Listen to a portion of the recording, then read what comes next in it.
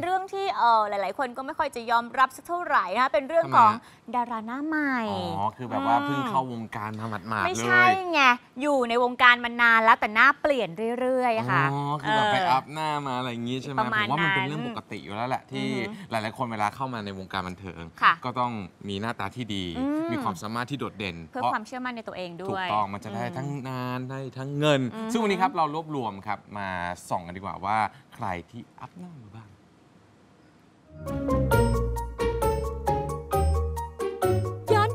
ามก่อนสัญญกรรมของคุณแม่คนสวยของน้องนิรินหนิงปณิตาค่ะดาราสาวที่กล้ายอมรับต่อหน้าสื่อว่าทำสวยเหมันนับไม่ถ้วน จนได้รับฉายาเจ้าแม่สัญญกรรม อย่างจมูกเนี่ยทำมาแล้วถึง 7 ครั้ง แล้วก็ยังทำตารวมถึงทำคางให้หน้าเรียวเล็กได้รูป ซึ่งเจ้าตัวบอกเลยค่ะ ว่ายอมจ่ายเพื่อให้ได้หน้าที่เป๊ะขึ้น เพราะถ้าทำเยอะงานเยอะเงินดีชีวิตแฮปปี้ก็ทำเถอะเป็นผู้หญิงอย่าหยุดสวยค่ะ หนิงว่าคนเราทุกคนเกิดมาก็อยากจะทำให้ชีวิตตัวเองเนี่ยมันดีขึ้นอยู่แล้ว มันก็ไม่ใช่เรื่องแปลกแล้วจริงๆเดี๋ยวนี้ไม่ต้องดารา คนวงการไหนเดี๋ยวนี้ก็อัพสวยกันทั้งหมดอะค่ะก็ทำตลอดก็ไม่ได้ปฏิเสธอะแน่นอนว่าจะไม่พูดถึงเธอคนนี้ก็คงไม่ได้ค่ะสำหรับนักแสดงสาวมากความสามารถ หญิงรัฐาโพงาม เพราะเธอวิวัฒนาการความสวยแบบก้าวกระโดดสุดๆ ซึ่งเจ้าตัวก็เคยยอมรับว่าทำมาแล้วทั้งอัพดั้ง รับรูปหน้า ซึ่งนอกจากจะสร้างความมั่นใจให้กับเจ้าตัวแล้ว ยังทำให้ได้รับโอกาสและงานดีๆ เข้ามาตลอดด้วยละค่ะ ไม่ว่าจะเป็นงานพรีเซนเตอร์สินค้าต่างๆ งานแสดง รวมถึงยังได้โกอินเตอร์เล่นหนังฮอลลีวูดอย่าง Only God Forgives ประกบพระเอกหนุ่มไรอันกอสลิงด้วย เรียกว่าศัลยกรรมเปลี่ยนชีวิตเลยล่ะค่ะ ฝั่งนางร้ายหน้าเป๊ะดิวอริสรากว่าจะมาถึงทุกวันนี้ได้ ก็สวยเพราะหมอเสกให้เช่นกันค่ะ นอกจากดัดฟันแล้วยังมีการปรับรูปหน้าทำจมูก ฉีดฟิลเลอร์และโบท็อกซ์ทำครบวงจรสักขนาดนี้ ก็เลยไม่วายโดนมาว่าเธอเสพติดศัลยกรรมไปตามระเบียบ แต่ถึงอย่างนั้นเจ้าตัวก็ยังมีงานต่อเนื่องแถมยังได้รับแต่บทเด่นไม่แพ้ใครซะด้วยค่ะ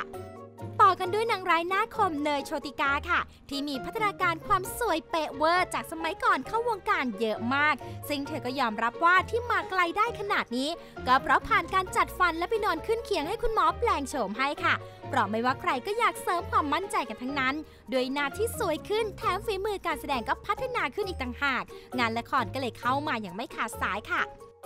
อีกหนึ่งนางร้ายไซมินิกุ๊บกิ๊บสุมนทิพย์คนนี้ เพื่อความสวยเธอขอสู้ตายค่ะ ถึงกับลงทุนบินไปเหล่าดัง พร้อมปรับโครงหน้าถึงแดนกิมจิ เรียกความมั่นหน้า เอ้ยมั่นใจกับเขาเหมือนกัน พอหน้าตาดีขึ้น ชื่อเสียงก็เลยมากขึ้นตามไปด้วย ยิ่งพอแต่งงานกับสามีหล่อล่ำบีทัศภาค จนมีลูกสาวหน้าตาจิ้มลิ้มน้องเป่าเป่าเป็นโซ่ทองคล้องใจ สาวกุ๊บกิ๊บก็ยิ่งดังเข้าไปใหญ่ค่ะ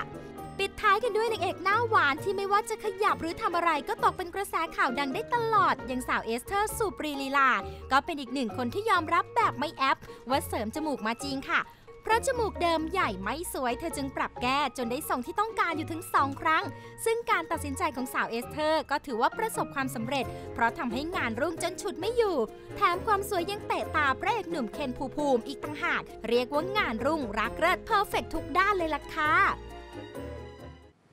คนทำมาแล้วก็ยอมรับนะว่าสวยจริงอะไรจริงได้ไหมที่ทำมาเออ นี่ก็